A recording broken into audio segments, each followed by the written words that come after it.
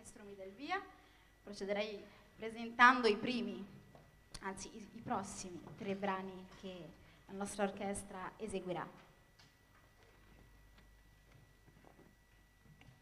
Eccoci qui, il primo brano sarà Canzone e danza del palio, poi la pastorale numero uno e ancora la gazza ladra.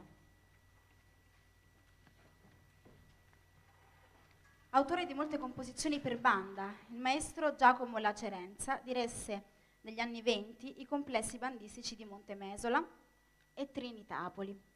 Fu uno dei più grandi trombettisti dell'epoca e padre di eh, due figli musicisti.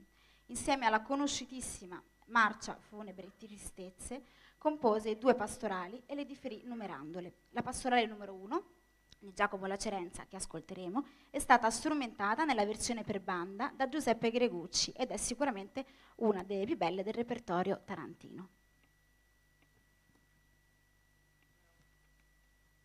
La Gazzaladra.